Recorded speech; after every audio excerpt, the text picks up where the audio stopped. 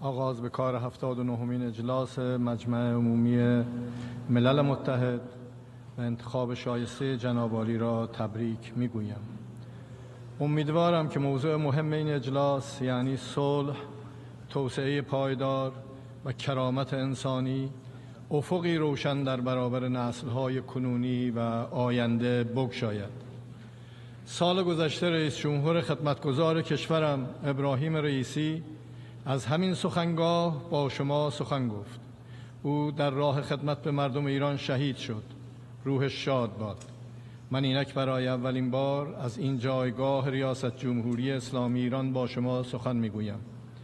مردم ما در انتخاب من به شعار محوری وفاق ملی رأی دادند. این شعار منطبق بر دستور خدای تبارک و تعالی در قرآن کریم است. مطابق آموزه های قرآن در آفرینش انسانها همگی از یک ریشه هستند پیامبران آمده که اختلافات را بر مبنای کتاب حل و فصل کنند. انسانها اختلاف نمی کنند مگر آنکه زیاد طلبی و تمامیت خواهی آنها آنان را از راه حق دور کند. امام علی علیه السلام در خطاب به یکی از فرمانداران میفرماید با تمام وجود به مردم مهر بورز محبت کن و لطف خود را شامل حال آنان بگردان. مبادا با مردمان تحت فرمان خیش با نامهربانی و خشونت برخورد کنی. زیرا مردم دو دستند. یا برادر دینی تو هستند یا در خلقت با تو برابر. رسالت همه پیامبران استقرار و گسترش حق و عدالت در جامعه انسانی بین همه انسانها به دور از رنگ نژاد جنسیت و زبان بوده است. صلح و امنیت در جهان مستقر نخواهد شد مگر اینکه حقوق همه انسانها جوامع و ملتها در چارچوب عدالت و انصاف رعایت شود.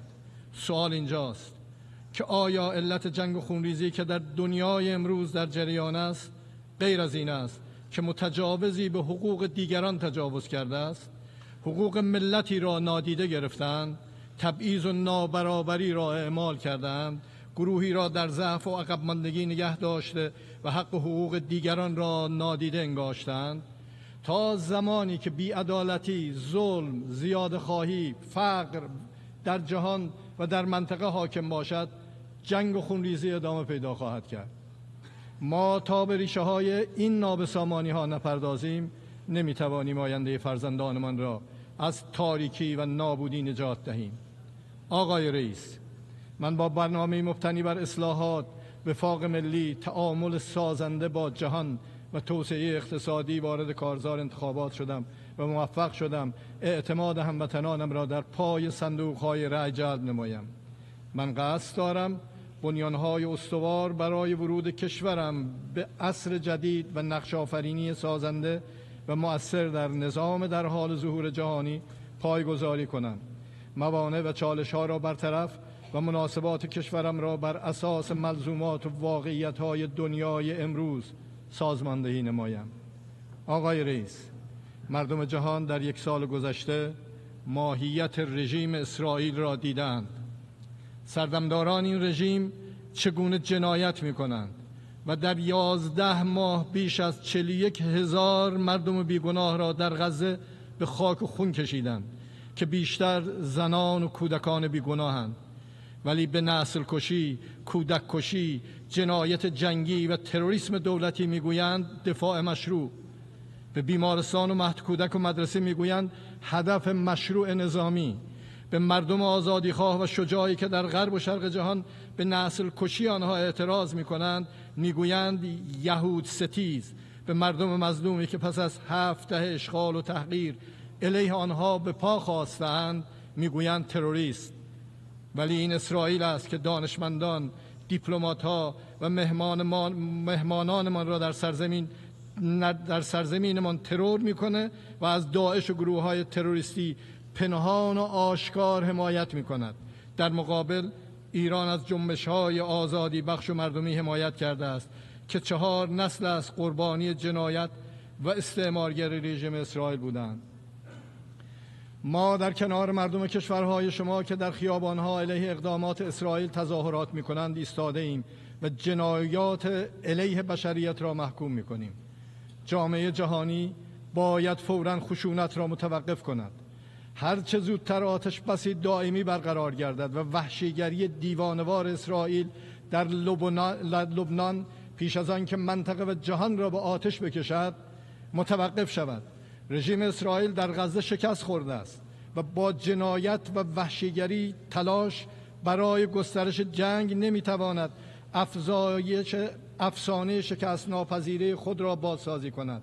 طبیعی است که جنایت کور و تروریستی چند روز گذشته و تجاوز گسترده علیه لبنان که هزاران انسان بیگناه را به خاک و خون کشیده است بی پاسخ نمیماند.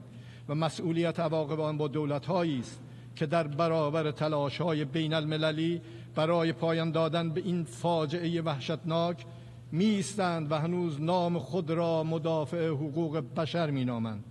تنها راه پایان دادن به کابوس هفتاد ساله ناامنی در غرب آسیا و جهان بازگرداندن حق تعیین سرنوشت مردم فلسطین است. پیشنهاد می کنیم که تمامی مردم فلسطین چه کسانی که اکنون در سرزمین مادریشان حضور دارند و چه آنهایی که مجبور به ترک خانه و کاشانه شدهاند در یک همه پرسی سراسری آینده خود را تعیین کنند. ما معتقدیم با چنین سازوکاری می‌توان به صلحی پایدار رسید. تنها از طریق از این طریق است که مسلمان، یهودی و مسیحی می توانند در سرزمین واحد و در آرامش و به دور از نجات پرستی و آپارتاید در کنار هم زندگی کنند. عالی جناب به تاریخ معاصر منطقه نگاه کنید. ایران هرگز آغازگر هیچ جنگی نبوده است. تنها در برابر تجاوز دیگران قهرمانان از خود دفاع نموده و متجاوزان را پشیمان ساخته است. ایران سرزمین هیچ ملتی را اشغال نکرده است. چشم به منافع هیچ کشوری نداشته است و بارها برای ایجاد صلح و ثبات پایدار در منطقه طرحهای گوناگون به همسایگان و مجامع بین المللی پیشنهاد داده است. ما از ضرورت اتحاد منطقه و تشکیل یک منطقه قوی سخن گفته ایم. منطقه متحد و قوی بر چند اصل استوار است. اول اینکه بپذیریم همسایه ایم. و به لطف همسایگی همواره در کنار هم باقی خواهیم ماند. حضور قدرت های خارجی در منطقه موقتی و منشأ بی‌ثباتی است. توسعه و پیشرفت ما و شما به یکدیگر گره خورده است. برون سپاری امنیت به کشورهای فرامنطقی به سود هیچ یک از ما نیست. دوم اینکه نظم جدید منطقه باید فراگیر و به سود همه همسایگان باشد. نظمی که منافع تک تک کشورهای همسایه را تأمین نکند نمی‌تواند پایدار باشد. سوم اینکه کشورهای همسایه و برادر نباید منابع ارزشمند خود را در جهت رقابت‌های فرسایشی و مسابقه تحت تسلیحاتی هدر دهند.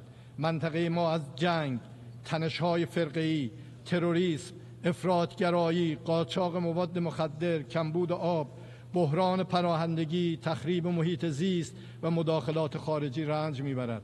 ما می توانیم با هم به این چالش های مشترک برای تأمین آینده بهتر نسل های بعدی رسیدگی نماییم.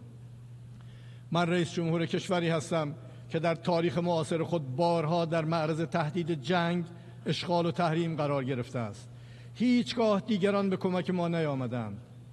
به اعلام بیطرفی ما اعتنایی نکرده و حتی به کمک متجاوز آمدند. ما به تجربه آموخته ایم که تنها می توانیم به مردم و توانمندی های بومی خود متکی باشیم جمهوری اسلامی ایران مصمم است به تأمین و تضمین امنیت خود نه ایجاد ناامنی برای دیگران.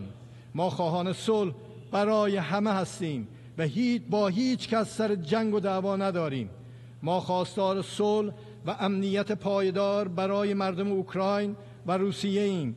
جمهوری اسلامی ایران ضمن مخالفت با جنگ و تأکید بر لزوم توقف سریع درگیری های نظامی در اوکراین از هر گونه راه حل صلحآمیز حمایت می کند و معتقد است تنها از طریق گفتگو این بحران خاتمه می یابد آقای رئیس در جهان به هم پیوسته کنونی امنیت و منافع یک کشور با نابودی امنیت و منافع دیگران هرگز تأمین نخواهد شد. ما نیازمند نگاهی جدید برای حل مسائل جهانی هستیم. چنین نگاهی می بایست به جای تهدیدها بر فرصتها تمرکز کند. بر مبنای همین منطق منطق تعاملی می‌توان فرصتهای جدید را برای همکاری پدید آورد. ایران و قدرت‌های جهانی با نگرشی فرصت, فرصت محور به برجام دست یافتند و ما در برابر شناسایی حقوق ایران و رفع تحریم ها بالاترین سطح از نظارت ها در حوزه هسته ای را پذیرفتیم. خروج یک جانبه ترامپ از برجام نشانگر دیدگاه تهدید محور در عرصه سیاسی و نگاه قدرت محور در عرصه اقتصادی بود. تحریم های یک جانب مردم را هدف قرار داده و در پی نابودی بنیان های اقتصادی ایران است. هدف امنیت سازی ایران است و نتیجه آن ناامنی برای همه. سیاست فشار حداکثری زمانی علیه ملت ایران به کار گرفته شد که ایران به گواهی آژانس بین المللی انرژی هسته‌ای به تمامی تعهدات برجامیش عمل کرد. ما آماده تعامل با اعضای برجامیم. اگر تعهدات برجامی به طور کامل و با حسن نیت اجرا شود می‌توان در مورد دیگر مسائل هم وارد گفتگو شد. در اینجا خطاب به مردم آمریکا می‌گویم. این ایران نیست. که در کنار مرزهای شما پایگاه نظامی ساخته است. ایران نیست که کشور شما را تحریم کرده و مانع از روابط تجاری شما با جهان شده است. ایران نیست که منا مانع از دسترسی شما به دارو می شود. این ایران نیست که مانع دسترسی شما به نظام بانکی و پولی جهان شده است. ما نیستیم که سران ارتش شما را ترور کرده ایم. بلکه آمریکا آمریکاست که عزیزترین سردار نظام ایران را در فرودگاه بغداد ترور می کند. پیام من به همه دولت هایی که راهبردی غیر سازنده در قبال ایران در پیش گرفتند این است که از تاریخ درس بگیریم. ما می توانیم از این محدودیت, ها فراتر رویم و دوران جدیدی را آغاز کنیم. این دوران جدید با به رسمیت شناختن دقدقه های امنیتی ایران و همچنین کار مشترک بر سر مسئله های مشترک شروع می شود تحریم ها سلاحی مخرب و غیر انسانی هستند که با هدف فلج کردن اقتصاد کشور اعمال می شود محرومیت از دسترسی به داروهای حیاتی یکی از دردناکترین پیامدهای تحریم که جان هزاران انسان بیگناه را به خطر می اندازد. این اقدام نه تنها نقض آشکار حقوق بشر بلکه جنایتی علیه بشریت است.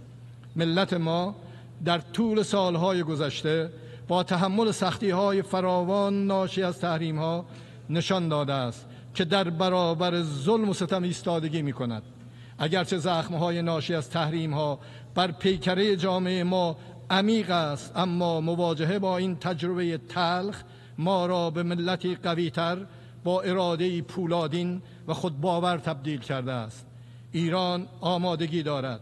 برای ساختن دنیایی بهتر با قدرت‌های جهانی و همسایگانش مراودات اقتصادی، اجتماعی، سیاسی و امنیتی مؤثر و از جایگاه برابر داشته باشد.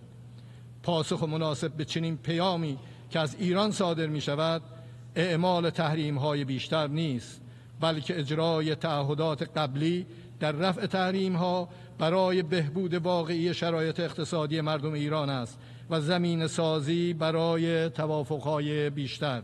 من امیدوارم این صدا از ایران امروز به خوبی شنیده شود. متشکرم.